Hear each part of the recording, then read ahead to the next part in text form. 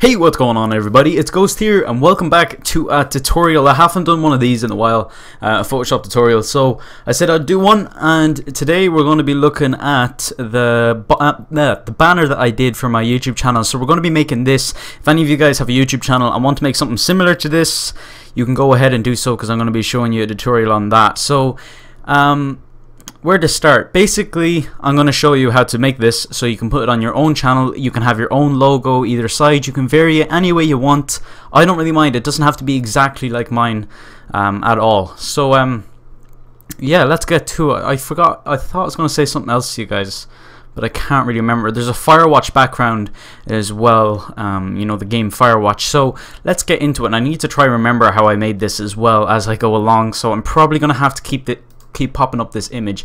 But anyway you want to go to file oh by the way I'm using Photoshop CS6 you can use any Photoshop version for this I'm pretty sure because I don't use any uh, 3D effects or anything. So you want to go file new and you go width um, the width of this is 2 whoops 2560 um, by 1440 1440 uh, resolution you can pop down to 72 uh, the reason why the resolution was at 500 and the width and height were at 5000 each is because I was making myself a t-shirt, um, a Ghostly Dragon t-shirt that I'm going to be picking up pretty soon.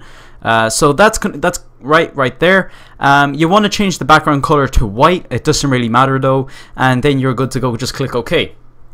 Uh, so you should get an image like this. Uh, what first thing I would do is just unlock the background. You can just backspace it and call it BG.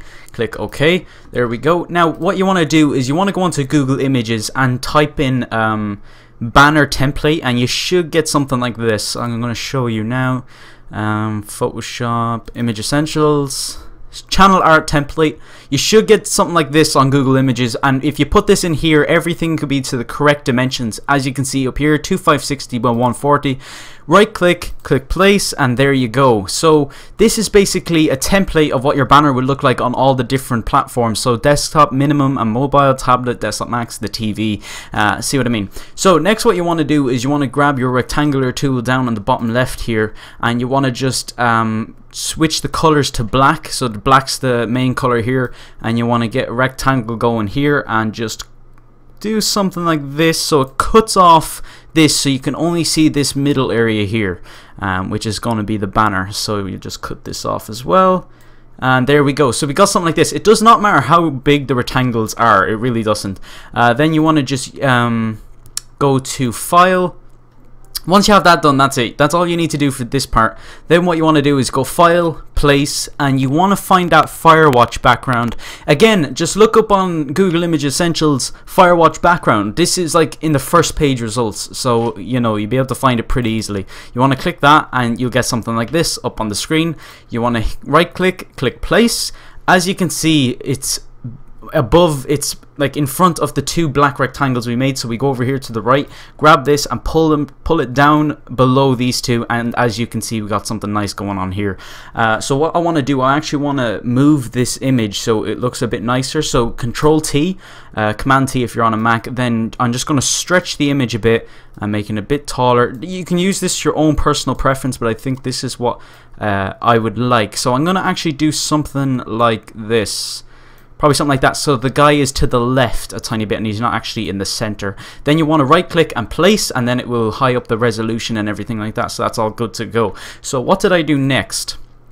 Um, let's let's by add let's add in the text. So you want to go here, hit the text tool, click here when the text tool loads in. Uh, click here, then you want to put up the the uh, text size to 72. I, I say I don't know, and then we're going to type in the ghost. Whoops the ghostly dragon. Okay, perfect. Uh, then you want to type that in there, and then you can pump uh, pump up the font a bit if you want, the the size of the font if you want. So what I'm going to do is I'm going to pump it up to about 82. Oops, I was meant to highlight it. Um, pump it up to 82. There we go, uh, like that. So that's perfect. Um, then what you want to do is center it. So to center it is you right click, see where it says the ghostly dragon here, your text layer, you want to control click the, your text layer like this so it highlights it blue and control click the background and once you have both of them selected come over here, click the move tool, hit this button here that will do it horizontally, but I don't want that. I actually hit that by accident. Hit the vertical one, or not the vertical one, this is the horizontal one, and then it will center it into place like that. So all I need to do is just drag it up to where I want it. There we go, there's our text done. Now to add effects. Uh, you want to double click on the ghostly dragon layer or right click and go to blend in options and you'll be brought to this page here. What you want to do, I'm pretty sure I just have a stroke. Yeah, so what you want to do is you want to hit stroke and then pump up the stroke a bit, or probably to a 6, no, 6 too big, 4, well, we'll do 5. So 5 is the stroke and everything else is good. We'll probably add in a bit of a drop shadow. Size, I'll probably go 13, spread, distance 13 so 13 4 13 and the angle of this will be 90 degrees and everything's good I'll pump up the opacity to 85 86 percent click OK there's our text done now what you want to do is you need to go to Google Images again and look for the YouTube logo and the Twitter logo. Um, just look up on Google Images YouTube icon and then Twitter logo. Um, shouldn't be that hard to find. So then you want to shrink this down. You want to bring the YouTube logo in. Just uh, hit File and Place and bring them in. And then just drag it along until you think that's perfect enough. Um, we'll just do there. I'm just making a, a quick little one. It's not going to be as detailed as the my banner that I have now, uh, uh, like this one here. So I do have a stroke around this, as you can see, like a black stroke.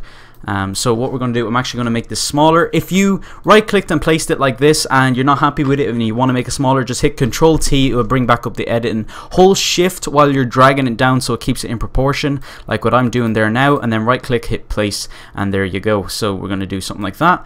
Then you want to what you want to do is I'm actually going to go to my Ghostly Dragon text layer, right click, go down to copy layer style, then go to YouTube icon and paste layer style because I'm going to be adding a stroke and a drop shadow to this anyway.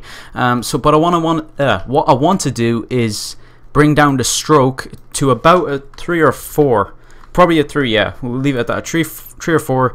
Then we want to get in. That's a YouTube logo done.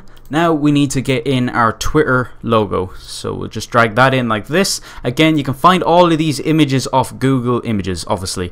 Uh, so you want to drag the Twitter logo down. We'll just put it next to the to the YouTube logo. I'm actually just going to drag the YouTube logo over a bit to the center perfect we'll just drag it over there now the Twitter logo blue I can't really remember what I did I went to gradient overlay I selected the gradient to a blue uh, a blue and white gradient. So if you just click here go here go to turquoise like kind of a, a light blue uh, then hit OK and we got something like this. You want to hit the blend mode and go to overlay and then you go to drop shadow and then you go to stroke just hit drop shadow. You can leave the settings as it is 505 90 degrees and 70% will actually pump up the opacity to 86 go to stroke and we'll pump up the stroke to about a 4 and there we go. And then add a bevel and emboss. And we got this nice 3D uh, Twitter logo which I think looks really really cool. Okay so then one more thing. You probably just heard my phone. One more thing that you want to do is go to text.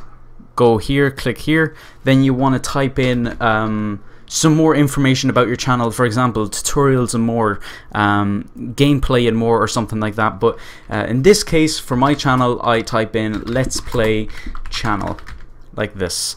Um, but I'm going to reduce the size. You can reduce it to any um, size you want. I'm probably going to go to a 60. Um, that looks about good. Oops, I messed up the play and play. There, perfect. And then I'll add an exclamation mark like that. Now, I really have a problem with adding text at the end of a thing. There we go.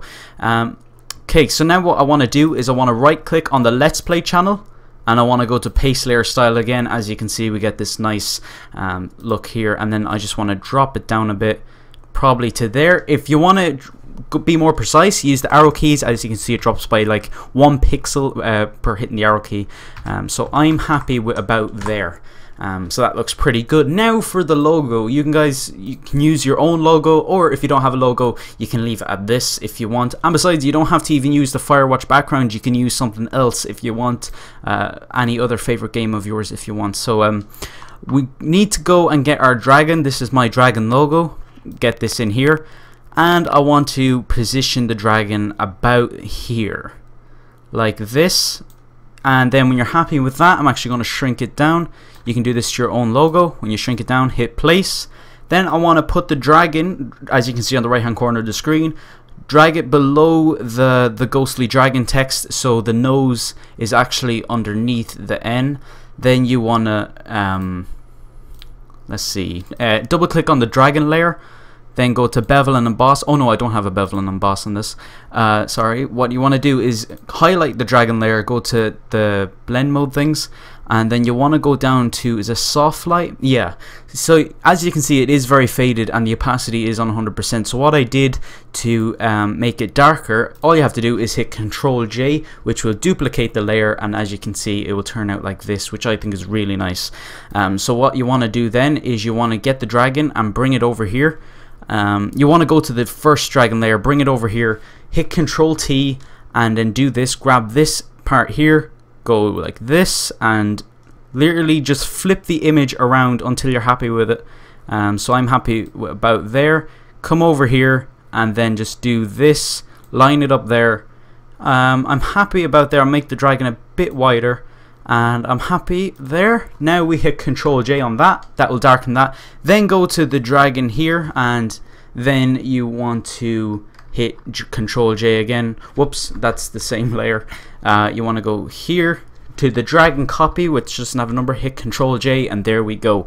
So that's going to be it for this tutorial guys. That's all you have to do to make my banner if you're interested in how to uh, make a banner like this. It's pretty simple. If you guys have a logo um, you can add the YouTube Twitter icon. Again you can add a Twitter Instagram logo if you want. Anything you want you can add any text down here. It's really up to you. It's a customizable banner but I'm just going to show you I just showed you how I added the background and the black layers here so everything is all good to go. And as you can see oh I exit off off the the image but it doesn't matter we got it done. But that's going to be it for this tutorial guys. I hope you guys enjoyed the video and if you did please hit the like button down below. Let's see if we can hit a good 5 likes to 10 likes on this video. I'd really really appreciate that. But with that being said I'll see you guys in the next one